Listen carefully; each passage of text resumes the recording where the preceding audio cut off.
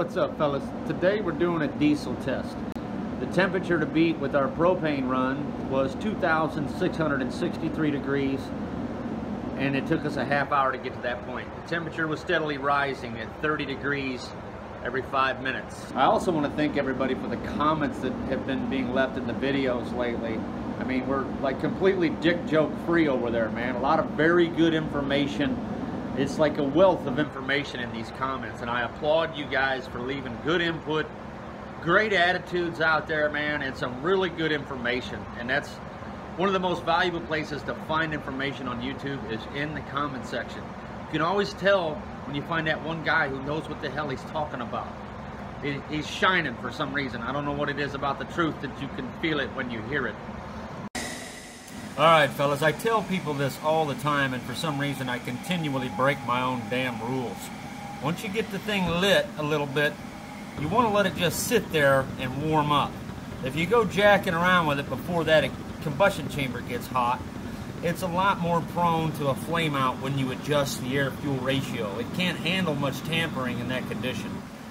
See there, I just suffered a flame out. Had I let that thing get a little hotter before I did anything, that doesn't happen. I'm just in a huge rush as usual, but for the most part, just keep that in mind. If you let the thing warm up before you do any major adjustments, you're going to be far less flame outs like that.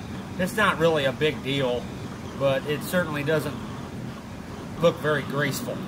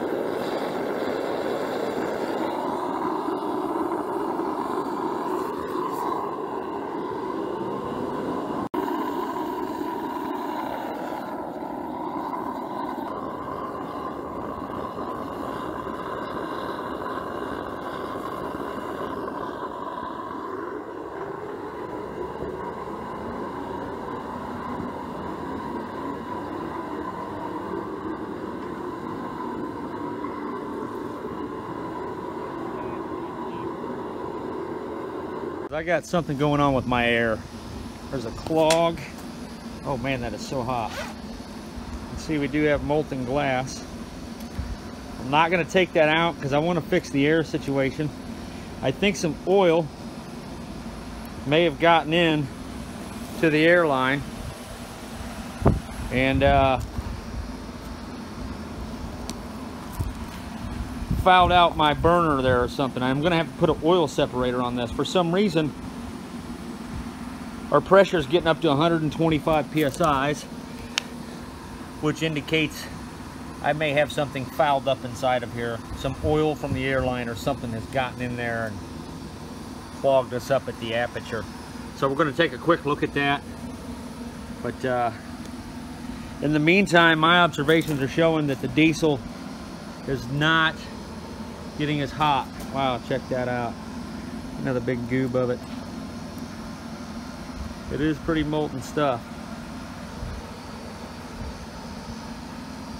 It's just straight dripping.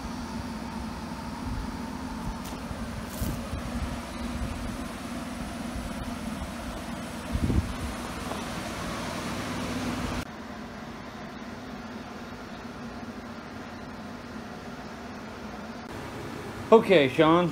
So I'm doing this video to show you what I found inside the nozzle here. See this crud came up through the airline, I think. I think this might have come out of my air dryer that I had hooked up to this thing. And see, we're just loaded with um, some dirt that had got in there. This thing's got a lot of hours on it. We've done a lot of testing with it. So I just wanted to show you how I took this apart, found the dirt. We had a pressure drop. This thing should be running around 100 psi back pressure or about 75 psi back pressure. I take that back. And we were getting into the Whoa, look at that dirt there.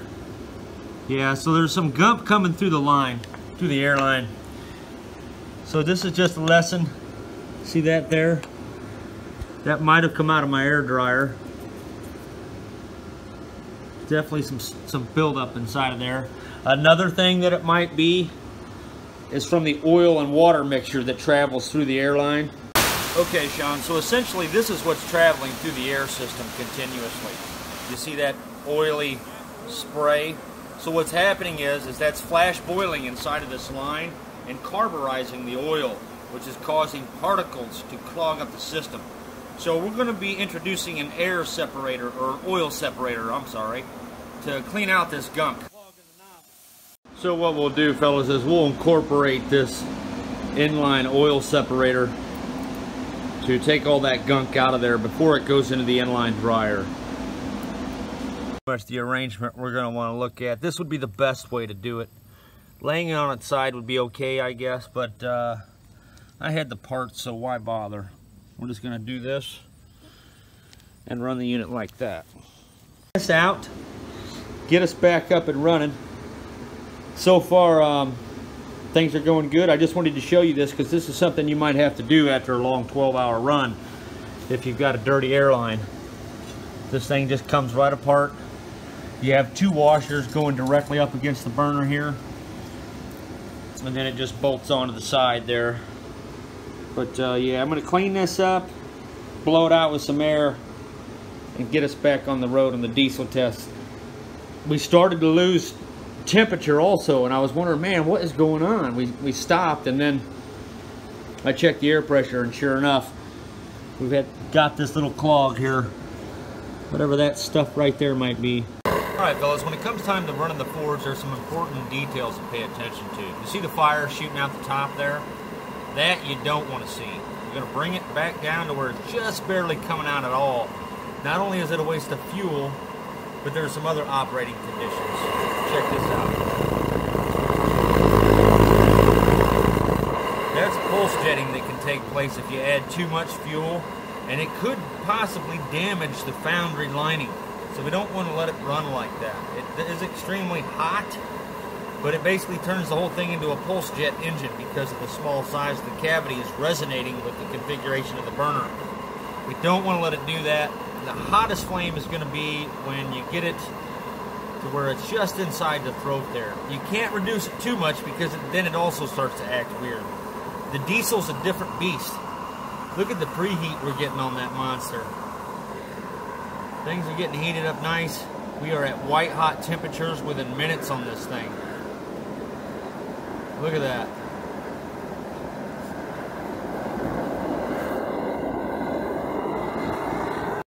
Well, I think my camera just missed that. The GoPro strikes again. I don't think it was recording. Um, we did get a pour there out onto this plastic or this metal. You can see we are liquid. Hopefully the GoPro caught that. This thing has a bad habit of just shutting off in the middle of stuff. Um, I'm not a fan of the Hero. This is the Hero Black. But we got a good melt in a half hour. We used a half gallon of diesel fuel.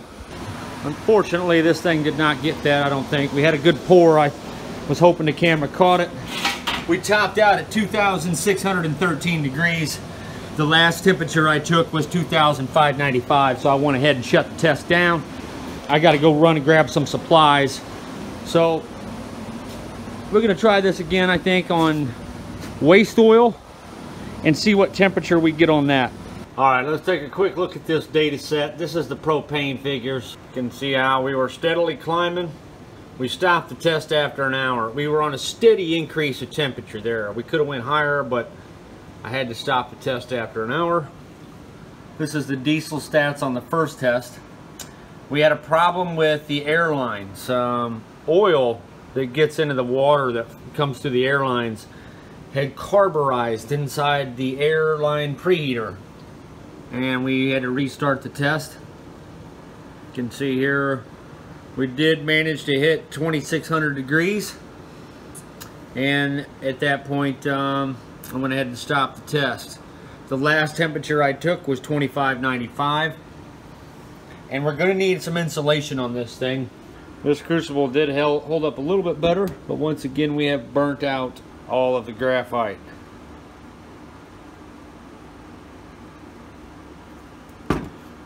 I don't know enough about these things to determine whether or not this is an actual accurate means of measuring temperature. The label burnt off of this side. It had a label just like this. We got a little hot there. Doesn't take long.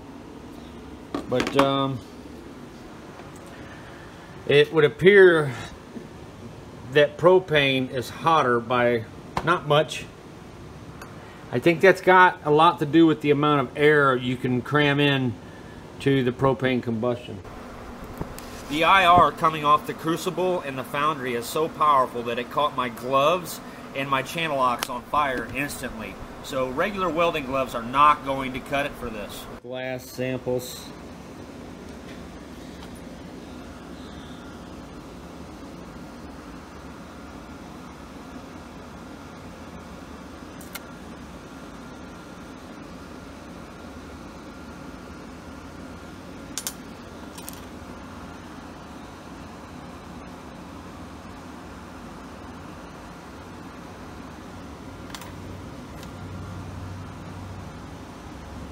This here had only been in like eight minutes.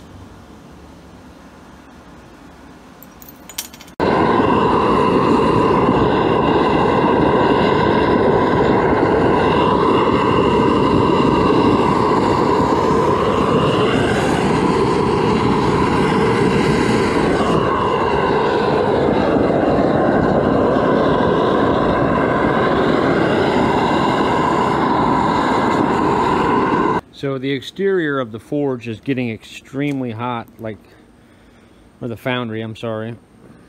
I think I was getting temperatures in the 600 degree range. So if we wrap this thing in insulation, we could get probably another 300 degrees out of this thing, maybe four. I'm gonna have to do some testing with different settings. I've not had time to do that yet. Dialing in the torch at different settings is is going to give us a different flame temperature. You can't just have it set at any old setting. And I didn't have time to mess with that much today. I just wanted to get it set at a particular rate to observe the fuel consumption.